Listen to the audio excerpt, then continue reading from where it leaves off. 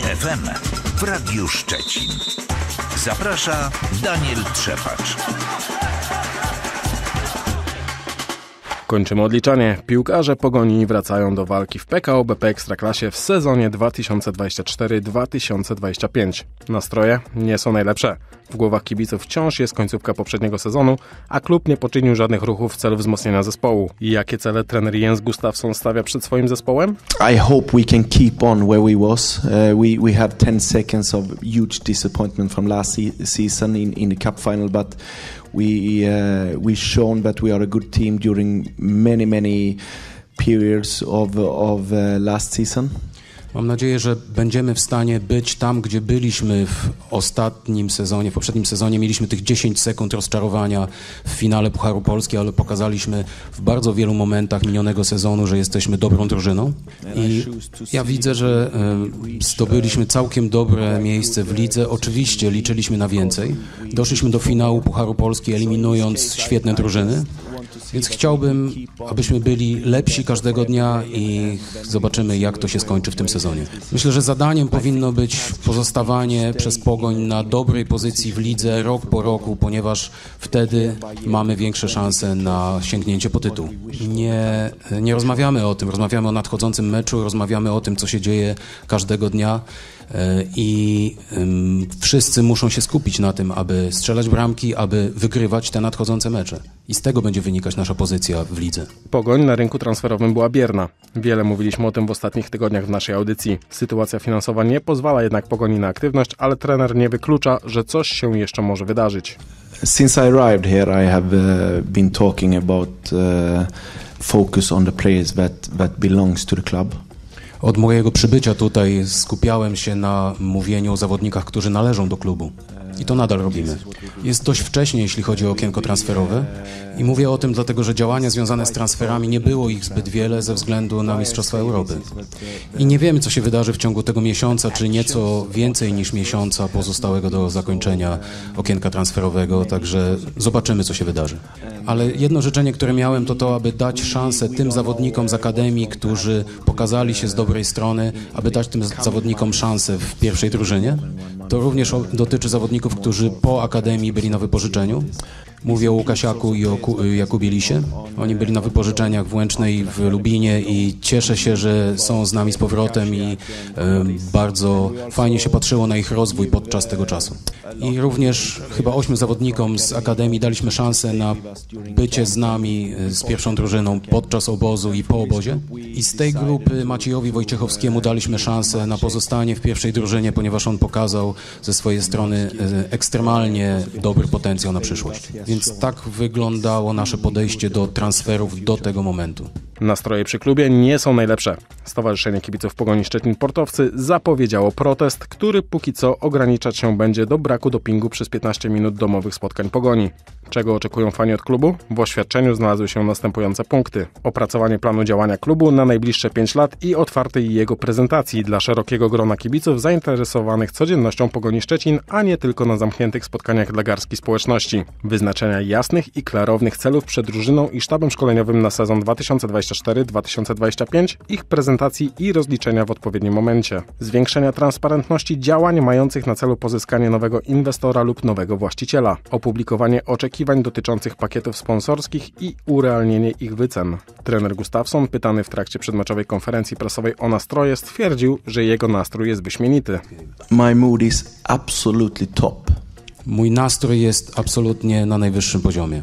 To obejmuje również zawodników, ponieważ no, nie możemy mm, za bardzo pod, poddawać się temu, co myślą o nas inni ludzie. Naszym celem jest zdobycie tak dużego zaufania ze strony kibiców, jak to możliwe, poprzez nasz styl gry i oczywiście poprzez zwycięstwa w meczach. Na tym się koncentrujemy, na niczym innym. Do audycji Pogoń FM wrócimy po chwili przerwy. FM w Radiu Szczecin.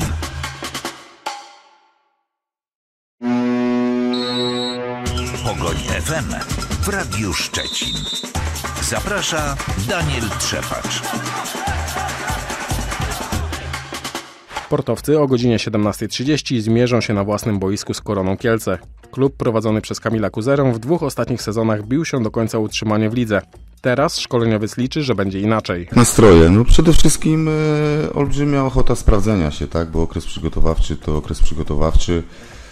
E, przepracowaliśmy go bardzo dobrze. E, ta drużyna tak naprawdę e, zmieniła się i, i dużo, sporo nowych twarzy, sporo też nowych rozwiązań, jeśli chodzi o, o piłkę nożną. Natomiast e, liga narzuca swój, swój poziom i E, i ta, te, ten start zawsze jest niewiadomy, natomiast no, czekamy na niego, chcemy rywalizować, chcemy, e, chcemy się sprawdzać, e, chcemy się cieszyć, chcemy zobaczyć mm, w którym miejscu tak naprawdę będziemy. Jedno jest pewne, że na pewno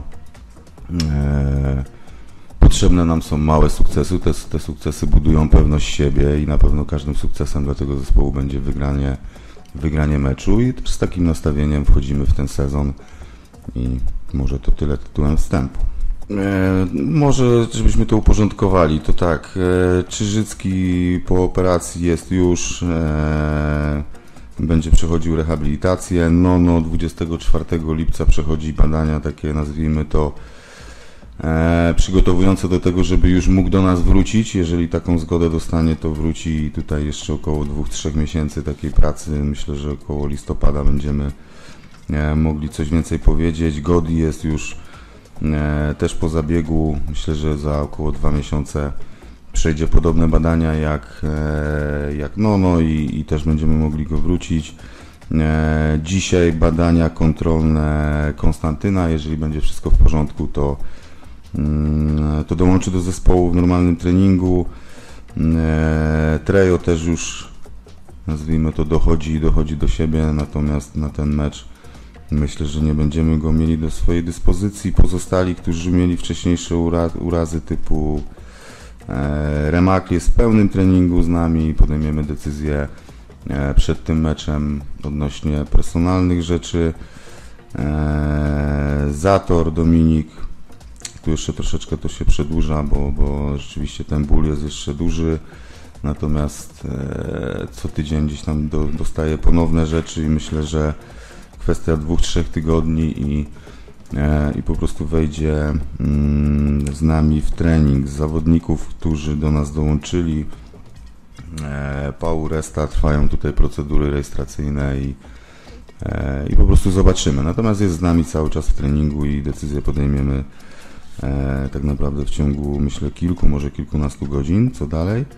E, pozostali, pozostali są do mojej dyspozycji, są zdrowi, chętni do pracy i to jest dla mnie najważniejsze. Terminarz korony na starcie rozgrywek nie wydaje się łatwy. Najpierw wyjazd do Szczecina na starcie z Pogonią, a następnie domowy mecz z Legią Warszawa. E, no, taki jest układ, e, układ gier i, i, i nie możemy wybierać. Na pewno jedziemy na fajny teren, z tego co wiemy komplet publiczności, także dlatego gramy i e, te mecze musimy i chcemy rozgrywać z każdym przeciwnikiem i e, taki jest terminarz. W drugiej kolejce mamy już Legię Warszawa też u siebie, także zapewne też komplet, dlatego no, fajne te mecze przed nami i musimy zaprezentować z jak najlepszej strony, pokazać to, nad czym pracowaliśmy i, i myślę, że jeżeli będziemy sobą, będziemy skoncentrowani na tym, Mm, co mamy robić w tym meczu, z kim gramy, bo tak jak Pan powiedział, na pewno Pogoń jest e, dzisiaj bardzo mocnym zespołem i, i o olbrzymich aspiracjach i z bardzo dużym niedosytem, jeśli chodzi o poprzedni sezon, także to na pewno będą chcieli e, zamazać, a tak jak mówię, my potrzebujemy małych sukcesów, e, budujących pewność siebie i rzeczywiście możemy rywalizować na boisku z każdym. Spotkanie Pogoni Szczecin z Koroną Kielce rozpocznie się o godzinie 17.30. Wejściówki zostały praktycznie wyprzedane. Wszystko to, co wydarzy się na stadionie, podsumuję i omówię dla Was w kolejnej audycji Pogoń FM w kolejną sobotę w Radiu Szczecin. Do usłyszenia. Pogoń FM w Radiu Szczecin.